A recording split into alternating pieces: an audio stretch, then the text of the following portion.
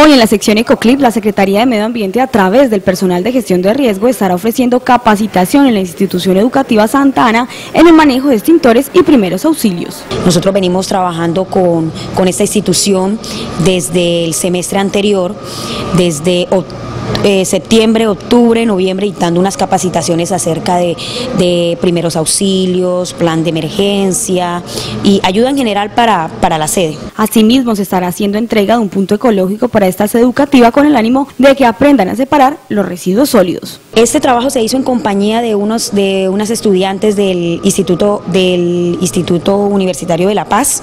Son prácticas de esas muchachas. Ellas presentan una carta y nosotros la evaluamos y miramos a en qué se les puede colaborar a esos institutos y cómo se les puede colaborar a ese plan de emergencia.